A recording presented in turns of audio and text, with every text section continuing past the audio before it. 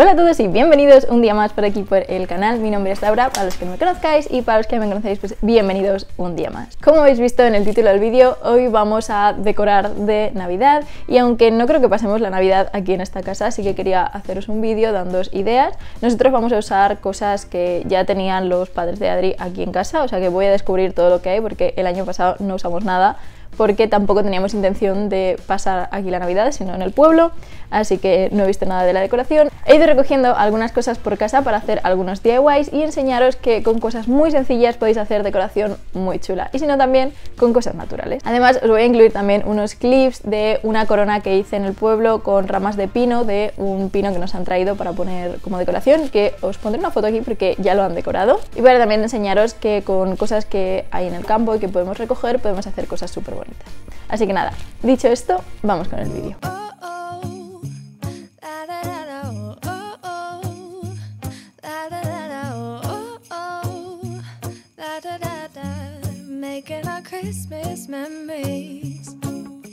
I've been working so much lately. I can barely find the time to sleep. Yeah, spend my time running around, keeping people pleased. This is my favorite holiday. It's a chance to start over new. Cause I missed you, so I'm letting go of everything but you. These are the good times with you. Bueno, aquí está el pino. No cabe de alto, o sea, la idea es ponerlo como en esa esquina porque aunque hayáis visto más el salón, que es el que está arriba, el de la chimenea, donde hay más espacio es en este. Entonces eh, eso os, lo quiero poner aquí obviamente. Y lo que hay que hacer es cortarle como esta parte de abajo, porque pues eso no cabe de alto, porque es muy, muy grande. Y Dante ya está ayudando a limpiarlo. y entonces lo que quiero hacer es estas ramas usarlas para hacer como em, guirnaldas, unas coronas y así. Así que creo que lo que yo voy a hacer es cortar esas ramas y luego ya con la sierra cortaremos lo que es el tronco. ¿Me vas a ayudar?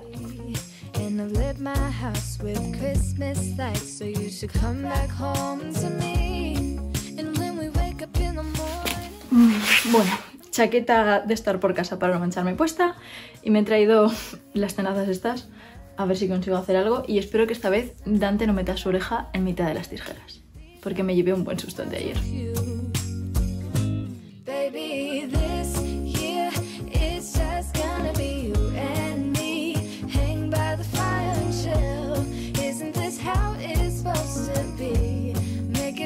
Esta es la rama, si antes me deja enseñarosla. Es bastante grande. Voy a ver si consigo cortar al menos una más. Bueno, por aquí ya tengo las dos pedazos ramas.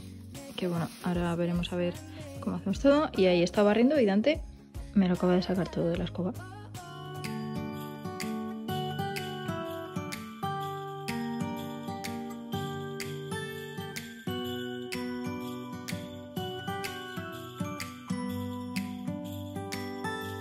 It was the night before Christmas.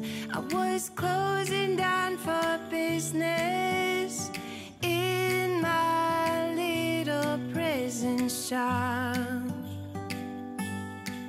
When the bell on the door jingled once more, and then time almost came to a stop,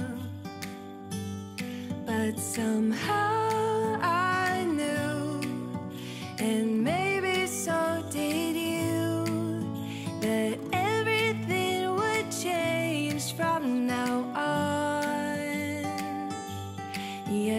Spread.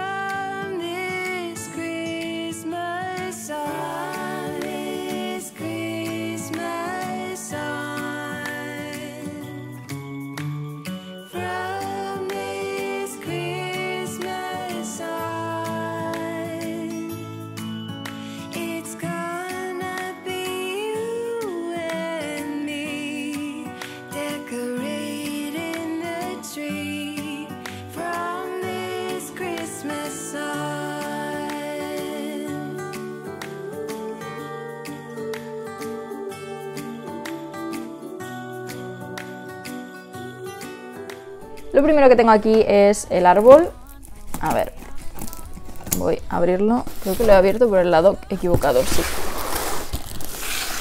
Vale, pues tendré que ponerle mucho fiso. En este caso el árbol es artificial. Entre elegir artificial o elegir uno de verdad cada año, pues es importante saber que para que uno artificial sea sostenible tienes que usarlo por unos 20 años. Entonces, si te planteas comprar, compra de segunda mano y si ya tienes uno, reutilízalo todo lo que puedas o si no, dónalo para que alguien pueda seguir utilizándolo.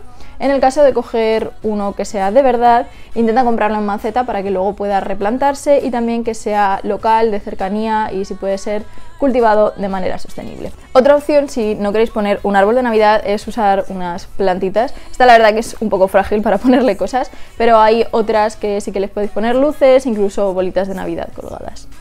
Voy a empezar, si Dante no se lo come, colocando esto. Ajá. Ah, mira, ya está, es muy fácil. Y esto cae. No.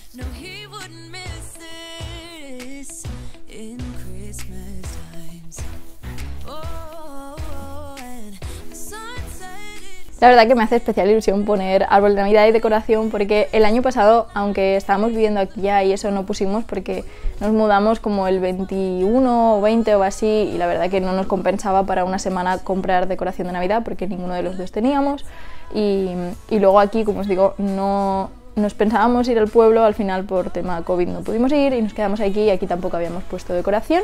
Y el año anterior estuve trabajando todas las navidades y sí que fui a mi casa en, Año Nuevo, pero claro, ya había puesto la decoración de mi madre, o sea, estaba, pero no la había puesto yo y la verdad que me hace mucha ilusión ponerla, así que este año pues no me quedo con esa ilusión y vamos a poner la decoración. Pues he ido sacando por aquí las cajas con cosas y luego esto que yo creo que lo usaban para el Belén, como por abajo, pero a mí me gusta para el pie, así que espero que no les importe que lo vaya a usar para el pie porque me parece como así blanquito, súper bonito. Y luego a lo mejor pongo como tipo regalos. Vamos a ver por aquí, pone bolas.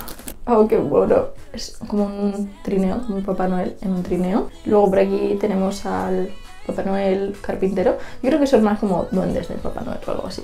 Y luego por aquí esto, decoraciones, son rojas y doradas. Yo creo que voy a poner como doradas y algunos toques en rojo de, de este estilo. Y luego tiene algunas así también como más pues brillantitas. Mira, hay cascabeles. Me encanta. También hay estrellas. Esta que es muy bonita. Por abajo veo también piñas. Bueno, iremos sacando todo.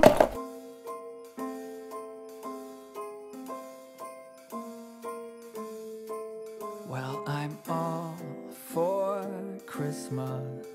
All the happy smiles and the wishes. And I want it all from the lights to the mistletoe.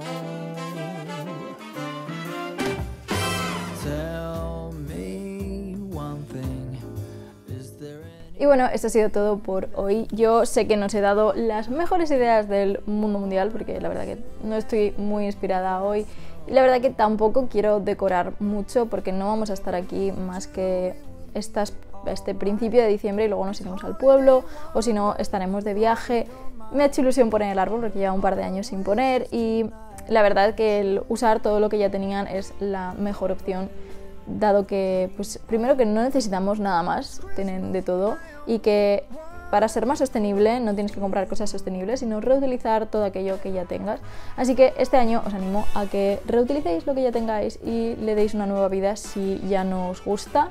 Y en el caso de que vayáis a comprar nuevo, intentar optar por la segunda mano, por cogérselo a alguien de vuestra familia o entorno cercano que no lo vaya a usar, o si no a comprar a tiendecitas pequeñas que hagan cosas artesanalmente, porque al final pues apoyaréis al pequeño comercio, que es mucho mejor que a las grandes multinacionales. Yo la verdad que me quedo muy contenta con el puesto del árbol, yo creo que pondré unas cajitas debajo así a modo de regalos si Dante no me las destroza.